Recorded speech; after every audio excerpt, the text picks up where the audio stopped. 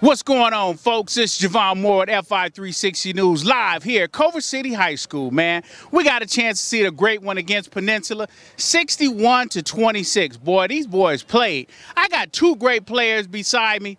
Let's go ahead and talk to Mr. McMahon first. Tell me, tell me your first name. Um, Malachi, Malachi McMahon.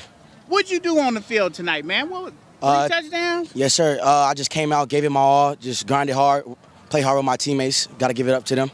All right, so you play running back and outside linebacker. Which Yes, one sir. you like the best? Uh, I like them equally as much. Uh, Whenever, wherever I can make plays, that's just what I like to do. Got it.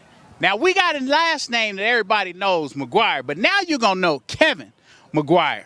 Scoring the tub today, just having fun out there on the field, man. Run us through what was a game plan tonight Um, and the how'd you plan- feel out here? Um, we knew they was gonna run the ball, so you know all we had to do was stop it, and we just dominated from there.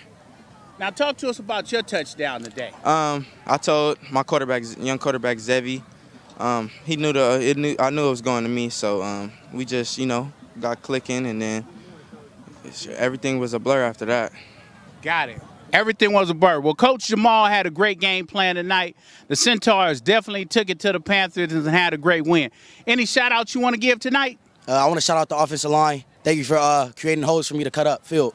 There it is. Mr. McGuire. I shout out the team, bringing on my team win. Team win, shouting it out to the team, shouting it out to the old lineman. It's always great to be out here on Friday Night Lights. This is Jevone Moore at FI360 News. Make it a great one, folks.